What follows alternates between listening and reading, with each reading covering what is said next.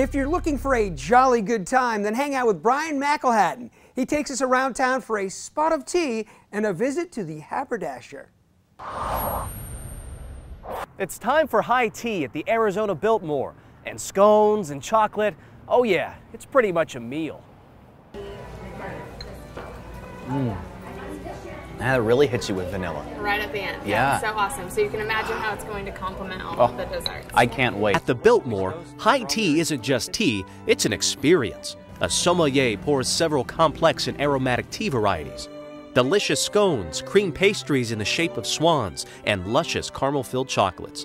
It can be a bit much for a no frills Midwestern guy like me, but once I tried it, I was all in. First, a lesson in tea sipping. Just a couple fingers. Couple fingers? Pinky up. Oh, yes. Always the pinky up. Always the pinky. And then your first sip. It's rich bodied, starts off hard, ends on kind of a sweet, spicy note. That's great. If I can do it, anybody can.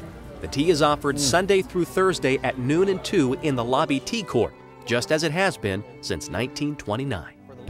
And while you're in the neighborhood, stop by the Valley's first micro haberdashery to make sure you look the part. Bonafide Goods is just one of the 18 locally owned shops settling in at the Biltmore Fashion Park. So, what is a haberdashery?